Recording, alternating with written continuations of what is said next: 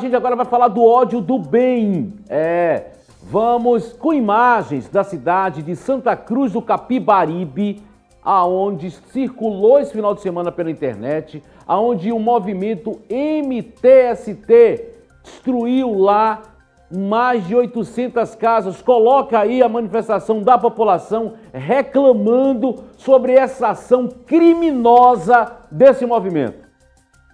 Estamos em Santa Cruz do Capibaribe, onde lamentavelmente, mais uma vez, o MTST, um dos braços do movimento Sem Terra, mostra sua crueldade e selvageria. Muito provavelmente, influenciados por partidos de esquerda, invadiram um residencial que seria entregue à população até o final do ano depredaram, queimaram e danificaram o patrimônio do povo que estava prestes a garantir a sua moradia. O residencial Cruzeiro está totalmente danificado. Foram mais de 500 famílias atingidas, que agora ficarão sem ter onde morar por muito mais tempo. E com isso, infelizmente, mais dinheiro terá que ser gasto do meu bolso, do seu bolso, para que volte a ter condição de uso da população. Então a gente vê a forma que aconteceu né, essa invasão, essa destruição, um cenário de guerra que está lá, algo que pode ser seu,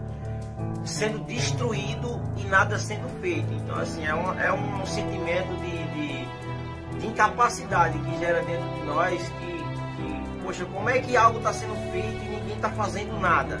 Será que vai ter que destruir tudo para refazer de novo e a gente conseguir ter o lá próprio? Aquilo que, por direito, dentro da lei, a gente conseguiu.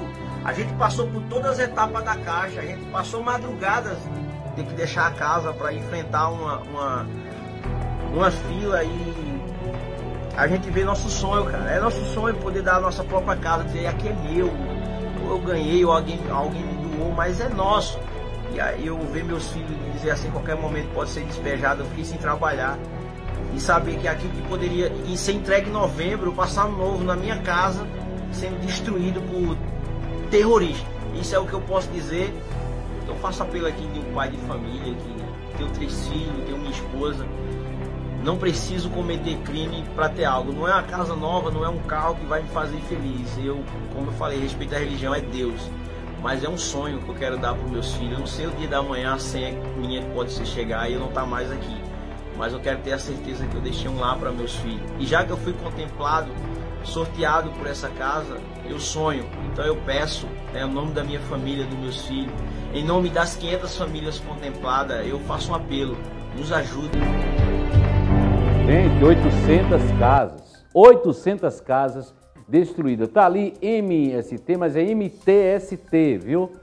Que destruíram essas casas em Santa Cruz do Capibaribe. Destruição. Segundo o morador, que ia passar, mora de aluguel, ele e a família, viu? Ia receber essas casas no mês que vem. Em novembro ia ser entregue essas casas, que agora é o programa verde amarelo, é, residencial. Olha isso, ó. tocaram fogo, quebraram tudo. O rapaz chamou de terrorismo e é terrorismo. É contra o Brasil, sim. Você pode ser até contra um governo, mas fazer isso é vandalismo. Essa situação, cadê o STF agora? Vai fazer o quê? Quando esse movimento criminoso é um movimento criminoso. Olha para isso. O que é que o STF vai fazer agora? Vai fazer o quê? Não vai fazer nada. Vai ficar calado. Esse é o ódio do bem que está acontecendo no Brasil.